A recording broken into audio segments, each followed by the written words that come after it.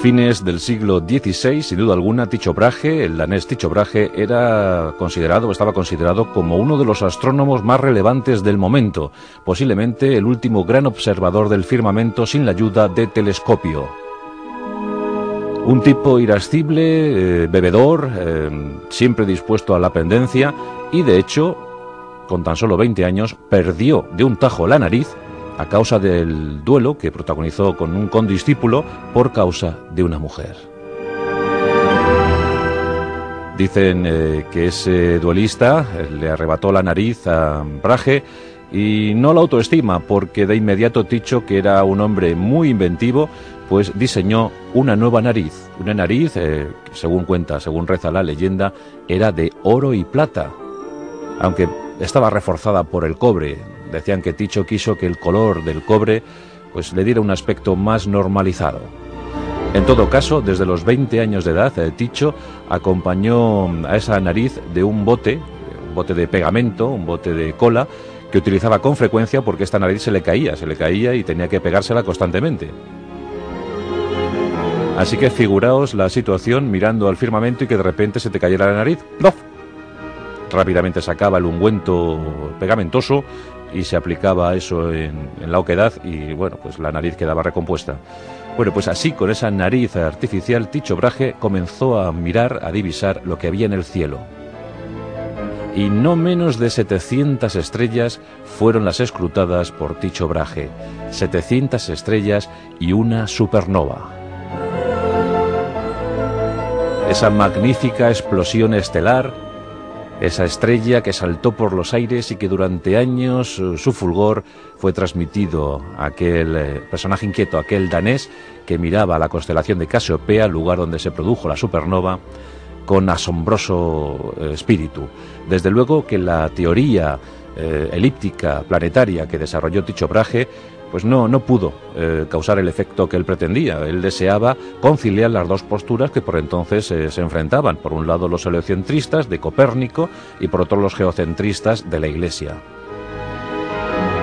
Él pretendió una fórmula mixta que no, no, terminó de cuajar, lo que no le privó de una fama merecidísima como gran astrónomo que era.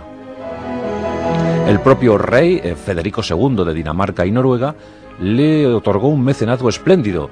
Ese mecenazgo, mecenazgo en la isla de Eben, eh, la actual eh, Suecia, pues originó eh, la edificación de grandes centros de observación astronómica.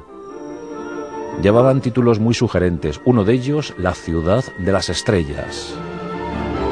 Y el otro, no menos extraño en el título, se llamaba o se bautizó como la ciudad de Urania.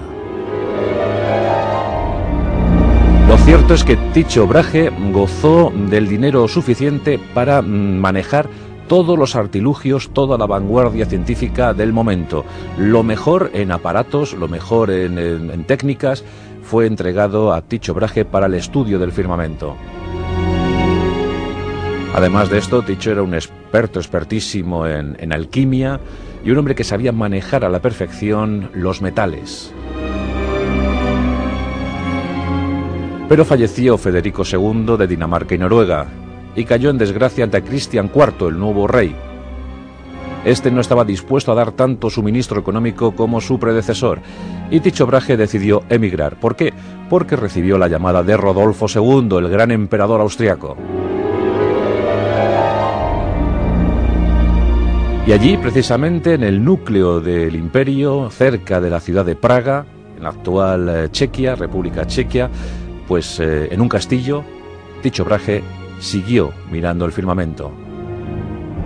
Pero tenía tal acúmulo de datos que precisaba ayuda, y ayuda muy cualificada. En ese tiempo descollaba el joven Johannes Kepler, de apenas 29 años de edad, pero con una gran eh, aureola de matemático, de hombre de profunda investigación, hombre entregado al estudio también eh, del firmamento. ¿Acaso ya esbozando las primeras líneas maestras de esas leyes que llevaron su nombre, las leyes de la astronomía? Un hombre que desde luego marcaría el antes y el después en cuanto a la observación del cielo.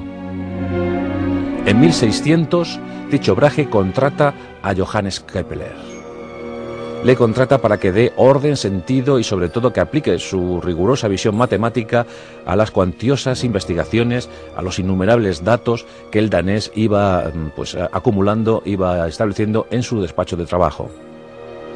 De inmediato se certificó el evidente antagonismo que se producía, que se produjo entre los dos personajes.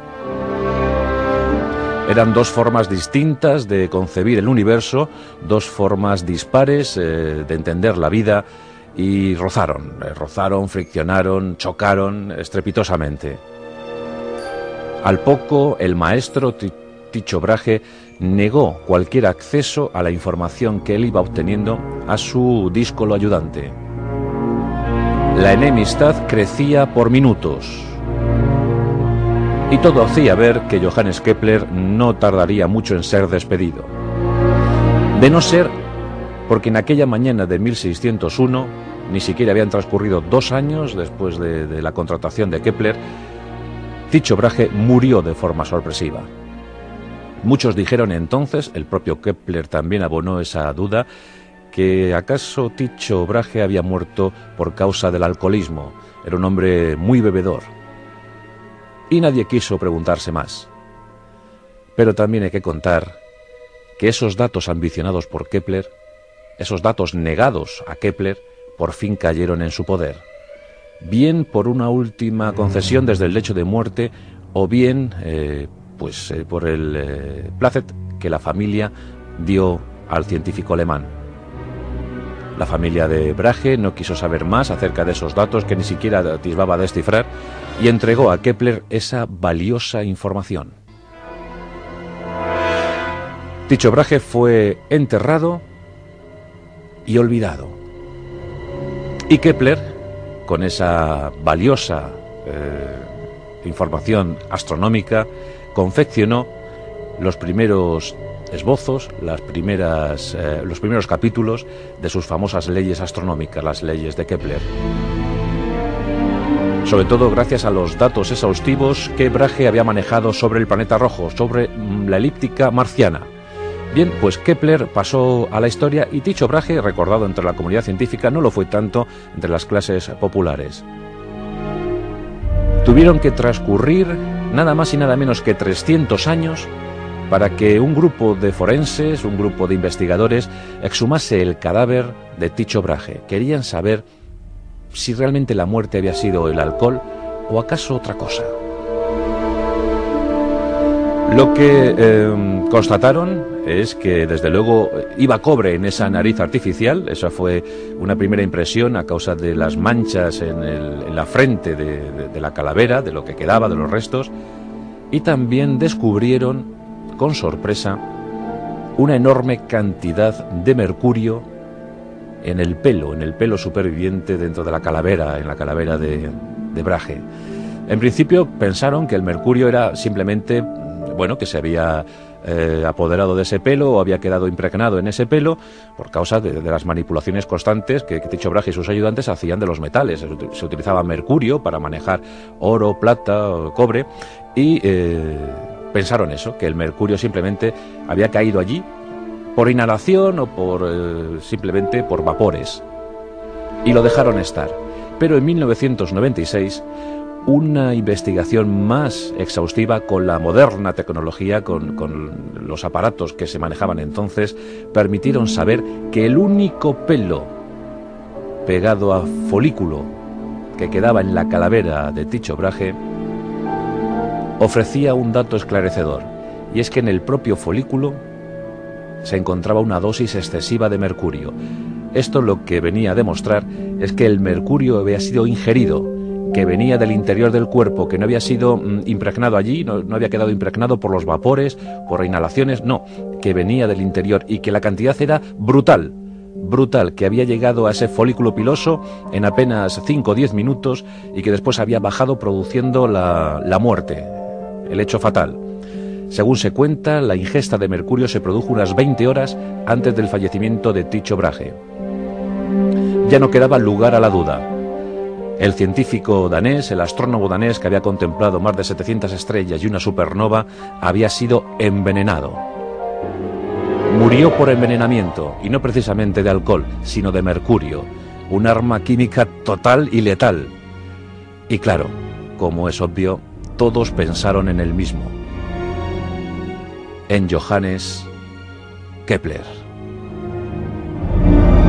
Si tenemos en cuenta que tras la muerte de, Tycho Brahe, Johannes Kepler tuvo acceso a la información que necesitaba, que por fin pudo elaborar esas leyes y por fin alcanzó la fama, el dinero y el prestigio suficientes para trabajar cómodamente hasta 1630, fecha en la que falleció con 59 años de edad, pues eh, debemos sospechar y con fundamento que Kepler supo más de lo que dio a entender en aquel día de 1601.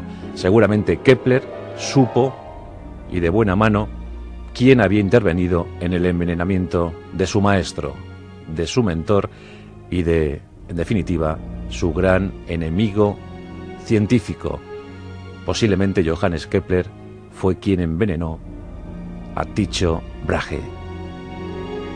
Enemigos íntimos de la historia, dos mentes lúcidas que chocaron y de qué manera hoy han protagonizado nuestro versus.